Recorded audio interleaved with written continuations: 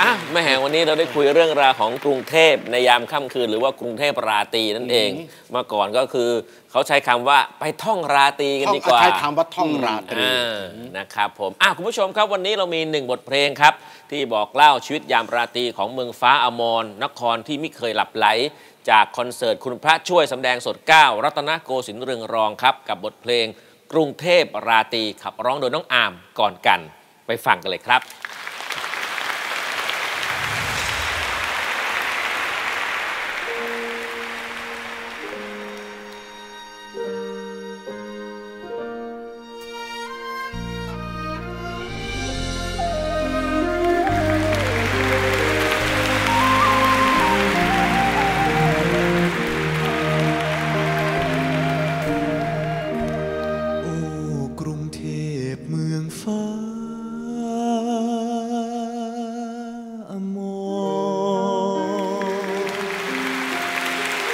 สมเป็นนค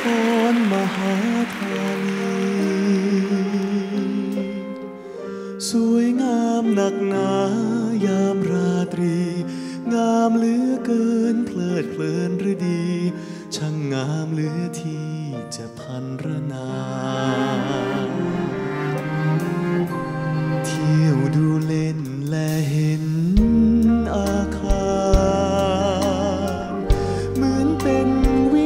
านสถานเทวา ทั้งยานพาหนะละลานตา งามแสนงามหมอน้ำสุงยา เหมือนเทพสร้างมาจึงงามวิไลราบดำเนินหน้าเดินเพลิดเพลินเรียบร้อยพรา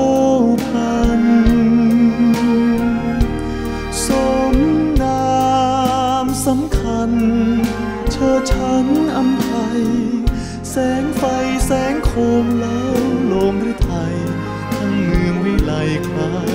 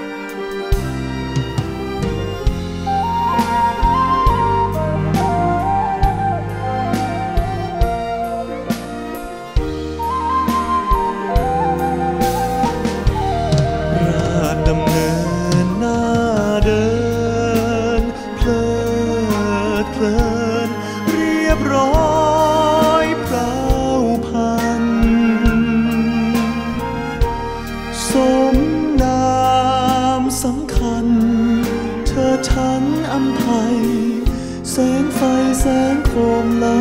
ลมหรือไทยทั้งเมืองวิไลคล้ายยามที่ว่า โอ้เมืองแก้วเลิศแล้วราตรี ทุกสิ่งล้วนมีชีวิตชีวา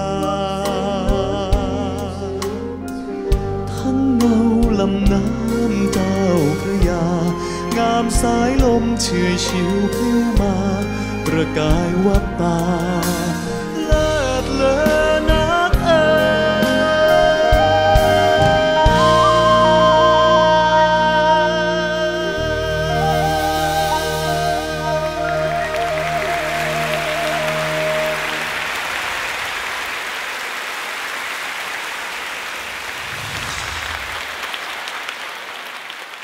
เป็นไงพ่อบทเพลง เพราะมาก ต้องบอกว่าคนแต่งแต่งเก่งมากนะครับอบรรยายกรุงเทพได้หมดเลยอะอืมทำแค่ใครฟังแล้วก็ผมเราอยู่ต่างจังหวัดเนี่ยพอฟังเพลงนี้ ฉันอยากเข้าไปกรุงเทพ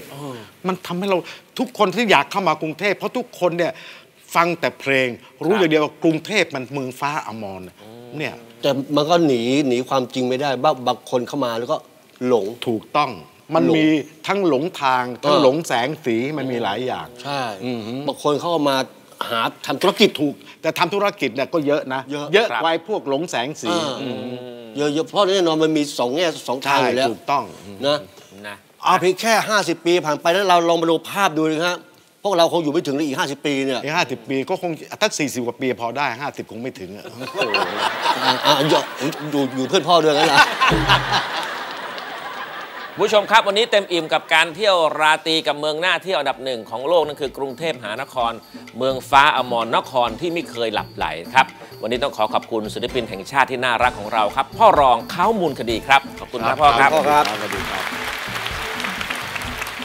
อะวันนี้คุณพระช่วยหมดเวลาแล้วครับผมนะฮะเจอกันใหม่ครับอาทิตย์หน้าตะวันโด่ง9โมงเช้าวันนี้คุณพระช่วยลาไปก่อนสวัสดีครัสบวัสดีครับ